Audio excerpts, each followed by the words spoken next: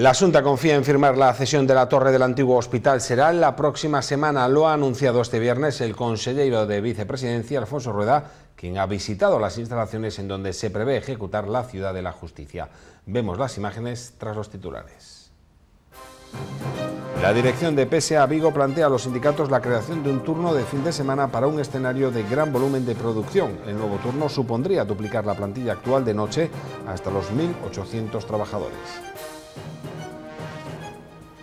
Con motivo de la celebración del Día Internacional de la Mujer, el próximo martes 8 de marzo se fomentará la igualdad en el deporte. Habrá encuentro masivo de mujeres deportistas y se realizarán exhibiciones de esgrima y gimnasia artística, entre otras modalidades. El Celta se prepara para el asalto al Bernabéu. Berizzo cuenta con todos sus efectivos, salvo Fontás por lesión y Cabral por sanción. Los nuestros tratarán de aprovechar las horas bajas de los blancos que ya han renunciado a la liga. En las filas de Zinedine Zidane vuelve Christian Bale. El proyecto de los juzgados en el antiguo hospital será el marcha en plazos y lo más arduo, los trámites administrativos van por buen camino. Es más, se espera que la próxima semana se pueda firmar la cesión de la torre por parte de la Seguridad Social, que es su actual propietaria. Así lo ha asegurado el vicepresidente de la Junta, Alfonso Rueda, que este viernes ha visitado junto a los técnicos las antiguas dependencias del hospital. Los procedimientos administrativos van por buen camino. De hecho, se espera que la próxima semana la ministra Fátima Báñez venga a Vigo para firmar el documento de acuerdo sobre la autorización de la seguridad social sobre estos usos. La presencia de la ministra, dicho Rueda, es la mejor muestra del compromiso de las administraciones con el proyecto, de forma que cree no es necesario ningún convenio. eh, non paramos un momento para ir hacia o objetivo. Por lo tanto, se o que se pon en dúbida é o compromiso da Xunta de Galicia, eu anuncio aquí directamente que non hai ninguna razón, sino todo o contrario. Estamos cumplindo e escoitaremos a todo o mundo e que todo o mundo teña tranquilidade de que eh, vamos cumplir todo o que aquí hai que facerse, pedindo tamén a colaboración de todos os que teñan que facer. Os primeiros, eh, a Seguridade Social, que adeu, os colexio, o Colexio de Arquitectos e todo o mundo. Cal aí que non haxa absolutamente ningún problema en que isto se vai facer se depende da Xunta de Galicia. La intención es poder convocar cuanto antes el concurso de ideas que dé forma al proyecto en el nuevo edificio judicial y para ello se firmará en breve el convenio con el Colegio de Arquitectos. De todas formas, los técnicos de la Junta tienen bastante clara la estructura del edificio que pasará por instalar en las primeras plantas de la menos una a la número dos las dependencias comunes con las salas de vistas, ya que son más amplias y las superiores principalmente despachos. Se baraja destinar el anexo 1 a aparcamientos. Está claro que estando estructura ben e sendo viable, eh, aquí hai que facer obras interiores importantes. Eh? Estamos falando de un presuposto de saída de 25 millóns de euros, eh? que ditos así pero é unha cantidade moi importante para facer, sobre todo, eh, reformas interiores. Isto tiña un uso hospitalario eh, e agora estamos falando dun uso completamente diferente. Ten que vir tamén a Asencia Galega de Novas Tecnoloxías eh, plantexar tamén un diseño integral dun edificio que ten que ser inteligente. La intención sigue siendo que el traslado de los antiguos juzgados se haga a principios de 2019. Queda por saber qué se hará en la calle La Lalín, la Xunta tiene alguna idea, en principio diferente a la Biblioteca del Estado, pero no la hará pública hasta que esté más madura. Desde logo, usos públicos, eso sin ninguna dúbida, e eh, os que máis eh, eh, conveñan primeiro os vecinos desa zona, que son os que van a ter infraestructuras ali, e en será a cidade de Vigo. Por tanto, cando estemos un pouco máis avanzados, eh, os diremos, pero tamén lle digo que eh, non teño, en principio, nada que obsetar a, uh, polo menos como uso para considerar o que o alcalde anunciou. Cando nos anunciemos algo máis, se que chegamos a madurar suficientemente, pois tamén espero eh, bueno, pues, eh, o mesmo espíritu constructivo. La intención es poder empezar ya en 2017 con las obras. Además, el consejero de Vicepresidencia ha asegurado que ya ha enviado el acuerdo del área metropolitana alcanzado tras las reuniones mantenidas con los alcaldes en las últimas semanas y ha dicho que espera que la modificación de la ley sea aprobada como muy tarde en el mes de junio.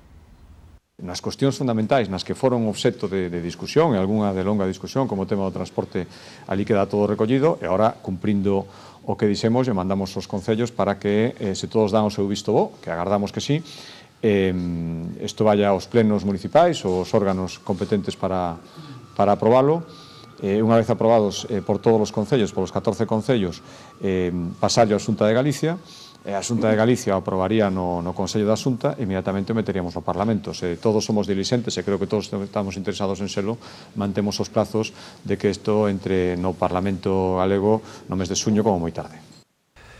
Más cosas, el ayuntamiento devolverá el importe íntegro de las licencias urbanísticas que tras la suspensión del Plan General de Vigo hayan quedado sin cobertura legal. Con anterioridad, la ley explicitaba que solo era obligatorio en estos casos afrontar el pago del 50%, pero el Concello, por iniciativa propia, asumirá, decimos, el 100%.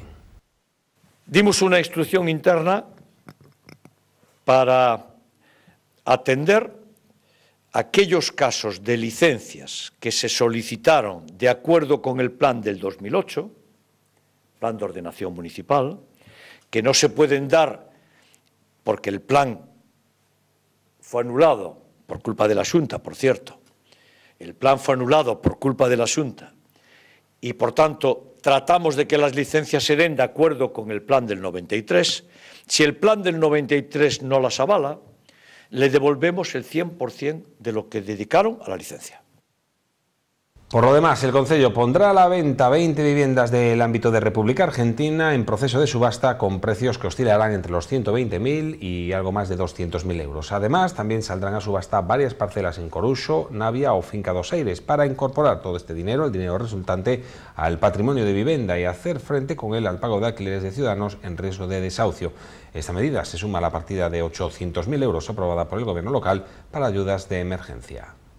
Este dinero, como ustedes saben, el que se recaude se incorpora en el patrimonio municipal de suelo y eso libera recursos que podemos dedicar a pagar alquileres de cientos y cientos de viviendas en la ciudad de Vigo. Porque nosotros no resolvemos 14 casos, resolvemos 1.200.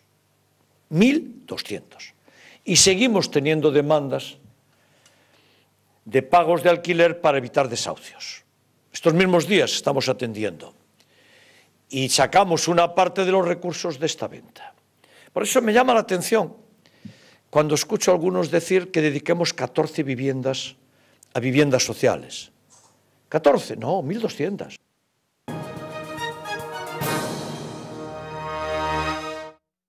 La dirección de PSA Peugeot Citroën Vigo plantea la creación de un turno de fin de semana para un escenario de gran volumen de producción. Así se lo ha planteado a los sindicatos en una nueva reunión para profundizar en las medidas de flexibilidad de la factoría de Balaidos. Un nuevo turno para sábados, domingos y algunos festivos compuesto por nuevos trabajadores. De esta forma, el turno de noche de la planta trabajaría solo de lunes a viernes. El nuevo supondría duplicar la plantilla actual de noche hasta los 1.800 empleados. Las mm, retribuciones de estos nuevos trabajadores serían de acorde a lo establecido en el actual convenio colectivo. En este encuentro entre dirección y sindicatos también se habló de la redistribución de las vacaciones en momentos de elevada demanda de vehículos. La empresa propone dos semanas de vacaciones en agosto y una tercera deslizante entre junio y septiembre. Más cosas de este viernes. SOS Sanidad Pública ha presentado un plan para reforzar los servicios sanitarios de Vigo que pasan por rescatar el Álvaro Cunqueiro, aumentar el número de camas hospitalarias, ampliar la actividad oncológica del Meixoeiro, situando en él todos los recursos de cirugía programada y para el anexo 1 del antiguo Hospital Seral, la creación de un centro de alta resolución e intervenciones de cirugía menor también, entre otras medidas. Por cierto, que la plataforma ha convocado una gran manifestación para seguir criticando el estado actual de la sanidad viguesa. Estamos falando de preparar unha movilización para o 12 de, de maio para chamar a cidadanía a que defenda unha proposta para o consunto da área sanitaria porque a necesitamos. Non podemos agardar máis, non podemos estar esperando a ver que falla a concesionaria, temos que decirle a concesionaria que revirta, que temos que recuperala para o, para o público, temos que recuperar o hospital e se, en este momento exiximos a administración que se ela quen lle diga a concesionario que hai que facer no hospital e nós temos unha proposta en riba da mesa que vamos a defender diante da cidadanía e diante da administración. Y la Confederación Intersindical Galega, la CIGA, asegura que la recuperación económica que proclaman desde el Gobierno central no está. De hecho, han presentado un informe donde explican el descenso en el número de personas ocupadas solo aquí en la ciudad de Vigo, concluyendo que desde el año 2009 ha aumentado los datos del paro en 27.000 personas. Por eso han convocado una manifestación para el próximo día 10 de este mes de marzo con motivo del Día de la Clase Obrera Galega, para pedir, dicen, la derogación de la reforma laboral. E por iso facemos un chamamento a toda a clase traballadora viguesa para, e de súa bisbarra para que eh, nos acompañe ese día desde as 8 da tarde na doblada para exixir ao goberno cambio de políticas. Porque goberne quen goberne, goberne quen goberne, nos vamos te, seguir estando na rúa exixindo un cambio radical de políticas. E só facer un comentario. Ora se está falando moito de un posible pacto PSOE-Ciudadanos E nos parece, desde a CIGA, máis do mesmo. Máis do mesmo.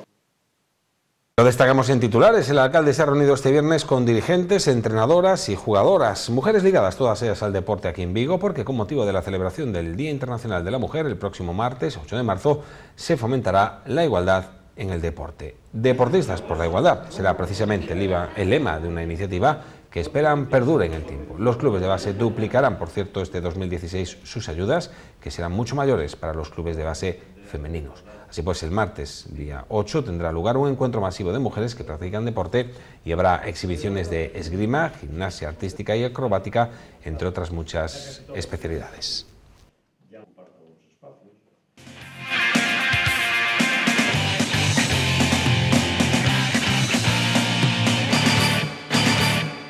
Eduardo Berizzo se lleva a todos sus hombres disponibles para enfrentarse al Real Madrid este sábado en el Bernabéu. Solo se han quedado aquí en Vigo Fontás, lesionado ya lo saben para lo que resta de temporada, y Gustavo Cabral, que se pierde el partido por sanción.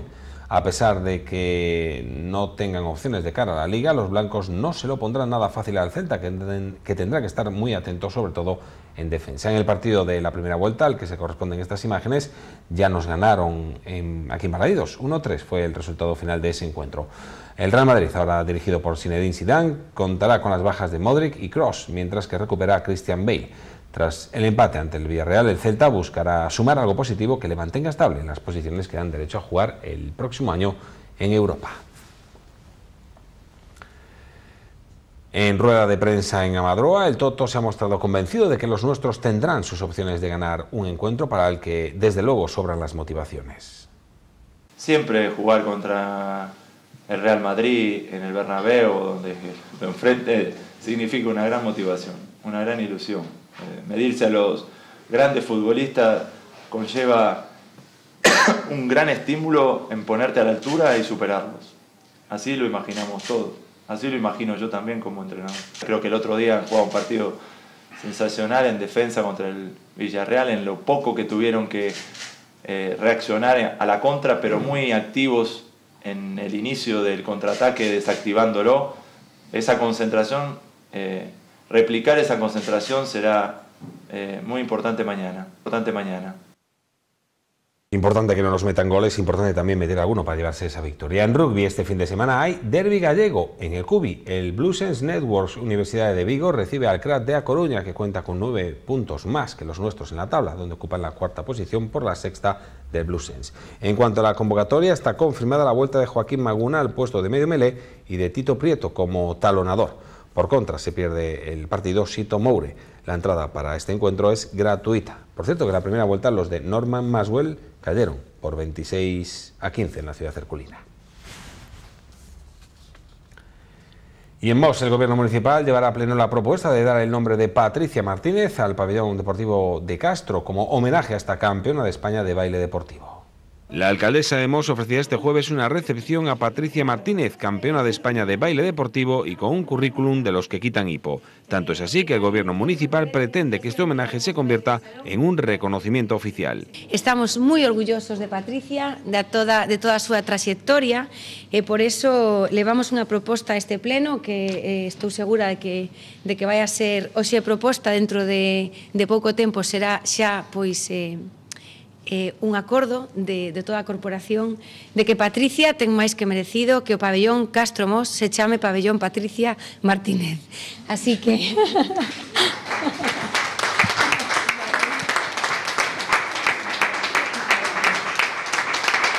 responsable de la Escuela Municipal de Danza, Patricia Martínez, se mostró halagada por este reconocimiento a su persona y por lo que supone también de apoyo a su labor de formación. Estoy súper encantada con Moss, porque Moss siempre me ha valorado muchísimo desde pequeña, tanto a mí como ahora a los renacuajos estos que vienen detrás a quitarme puestos, pero así que para mí que va a haber mucho baile deportivo para largo. La ilusión de Patricia ahora es que este reconocimiento sirva para sumar más aficionados a esta modalidad deportiva. Pues nada, a bailar. Nos vamos de fin de semana. Recuerden, como siempre, eso sí que hay más noticias en la página web de Radio Vigo, así como en el 100.6 del Dial de la FM y el 1026 de la Onda Media. Buen fin de semana.